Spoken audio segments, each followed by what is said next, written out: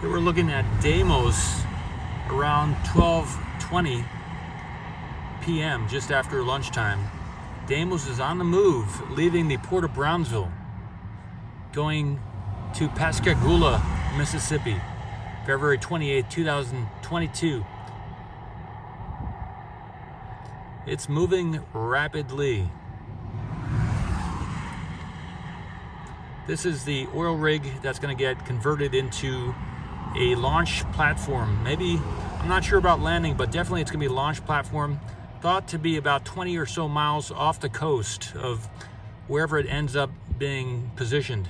But this is going to get uh, um, demolition on some of the areas of this and reconfigured for a uh, SpaceX launch platform.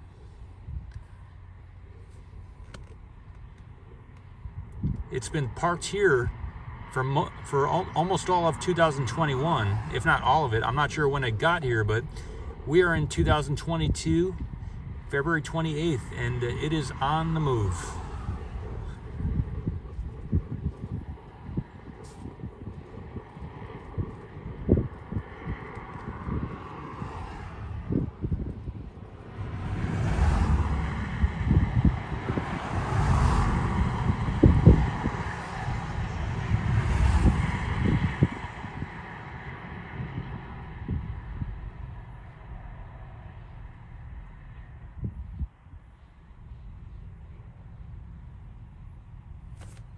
I'm going to go to the jetties and get some video from there.